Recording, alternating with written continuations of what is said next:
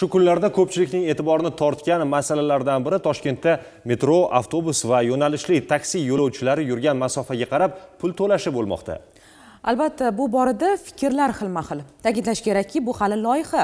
Ushbu tizim joriy etilishidan avval har tomonlama o'rganiladi va shundan so'nggina maqbul qaror qabul qilinadi. Muxbirimiz mavzuni davom ettiradi. Mutaxassislar ma'lumotiga ko'ra masofaga qarab to'lovni amalga oshirish differensial ya'ni qayishuvchan tarif to'lovlari bo'yicha joriy etiladi.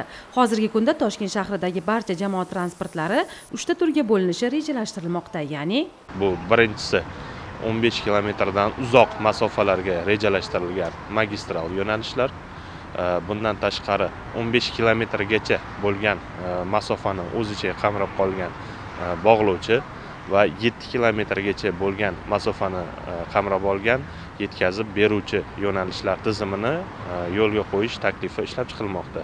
Ma'lumotlarga ko'ra toshkent shahar jamoat transportida qariyb to'rt yuz sakson mingga yaqin yo'lovchi tashiladi bu shahar aholisining har o'ntadan bittasi jamoat transportidan foydalanadi degani.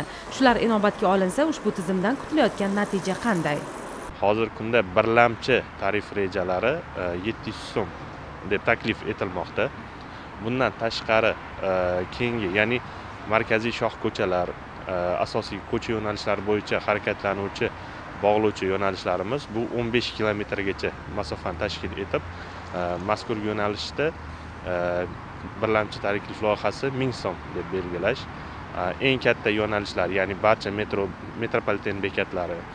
Bundan tashqari hozirgi kunda 1 sentyabrda ya'ni ishga tushirilishi rejalashtirilayotgan alohida bo'laklarda harakatlanuvchi ya'ni bus rapid yo'nalishlarimizni bir ming to'rt yuz so'm deb belgilash taklifi berilmoqda.